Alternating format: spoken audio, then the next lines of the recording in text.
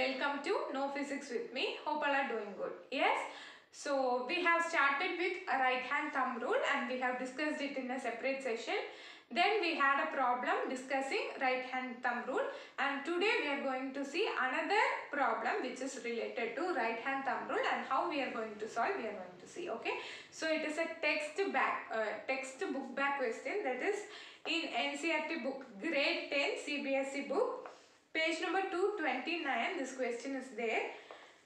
Consider a circular loop of wire lying in a plane of table. So we are going to consider a table. Consider this as a table and we are going to consider a circular wire. Okay. So this is your table and this is your circular wire. You have connections. So far now we don't consider any connections. Just we will understand the directions. Okay. Yes.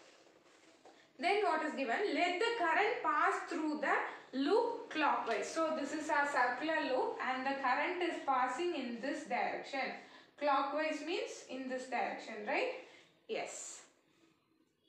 Apply the right hand rule to find out the direction of magnetic field inside and outside the loop. So they are asking us to find the direction of magnetic field lines inside and outside the loop given the direction of current is clockwise.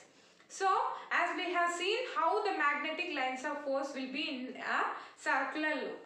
So this side let us consider the circular loop to be I mean the magnetic lines of force to be like this okay. So consider this as your current carrying conductor and clockwise direction your current is acting means obviously like this direction yes or no.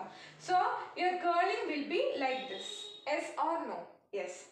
So the curling will be in anti-clockwise direction at every point. Okay, you can draw a enlarged diagram for a clear understanding. And now let us consider this side.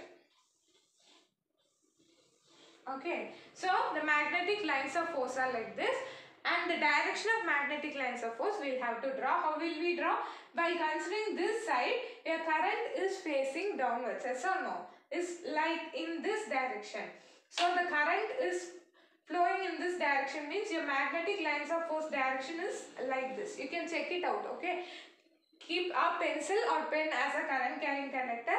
Your direction of current, that is the thumb is pointing downwards means the direction of magnetic lines of forces like this which is in clockwise direction.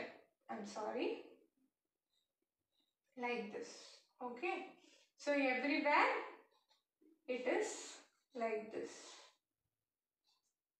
In clockwise direction. Question is we have to find in which direction magnetic lines of force is acting inside as well as outside the loop. Inside the loop means here inside the circular loop we have to consider.